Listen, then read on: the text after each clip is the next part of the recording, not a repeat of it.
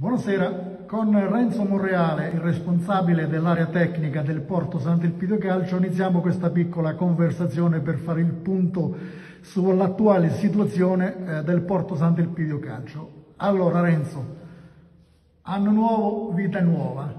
Siamo partiti quest'estate con un organigramma ben definito, lungo la strada abbiamo perso diciamo, qualche giocatore, però adesso la società si sta di nuovo eh, adeguando e rafforzando per continuare al meglio la stagione.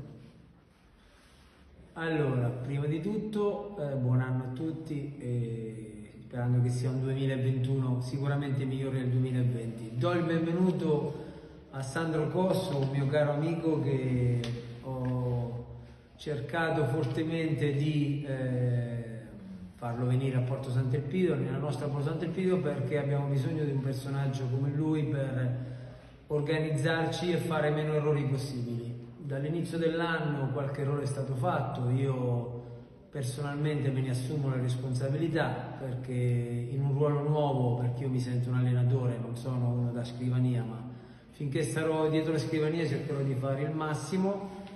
Eh, cercheremo in questo 2021 con l'aiuto di Sandro e di tutti noi di migliorare la situazione sia a livello organizzativo e soprattutto a livello eh, tecnico. Per questo già abbiamo eh, due giocatori nuovi in squadra, Stefano Spagna e Paolino Mercurio. Eh, sapete benissimo giocatori in uscita, Manari, Frinconi, Parasecoli, eh, Miccoli, Gesuè, eh, Sprecacè, tutti giocatori che hanno deciso di chi per volontà loro di abbandonare la nave, chi per volontà nostra di lasciare liberi perché a nostro avviso, sicuramente sbagliando ma prendendoci le responsabilità, non idonei per fare il nostro cammino della rosa della prima squadra fanno parte molti ragazzi che l'anno scorso erano nell'organigramma della Juniores.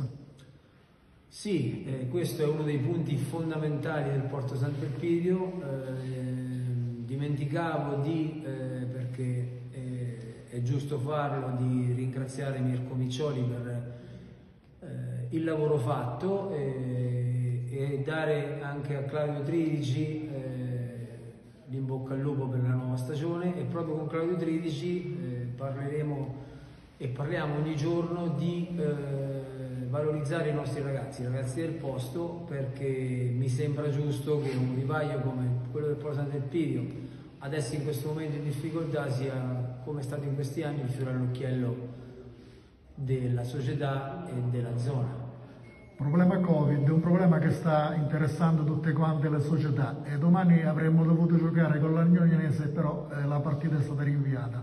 È un bene oppure è un male? Io, eh, Luigi, ti dico quello che ho detto anche altri colleghi della stampa, eh, io non sono favorevole e non ero favorevole alla continuazione del campionato perché questo secondo me è un campionato falsato campionato che non ha senso, un campionato senza spettatori non ha senso, un campionato che alle società costa il doppio e quindi io paradossalmente mi sarei fermato, ma questo è solo il mio pensiero. Eh, andiamo avanti con tutte le difficoltà, con tamponi ogni settimana, andare a giocare con eh, spese e, e senza entrate. Però questo Ecco, torniamo alla prima squadra. Lei parlavi di due acquisti di Mercurio e Spagna, un difensore e una, una punta. La carenza diciamo, a questo punto è un po' a centrocampo, anche se eh, puntellare qua e là qualche altro reparto non sarebbe male. Senza fare nomi, ha qualcosa in serbo la società?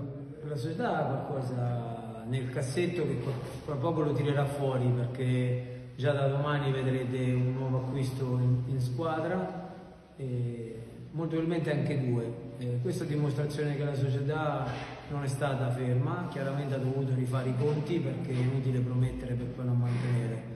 Eh, mi assumo la responsabilità di quello che dico, la, più, la mia più grande vittoria personale insieme alla società sarà quella di far ricredere a quei giocatori che cammin facendo hanno abbandonato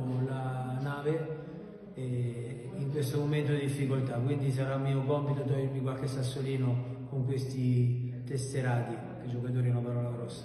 Ok, ringraziamo eh, il signor Monreale e alla prossima intervista, grazie.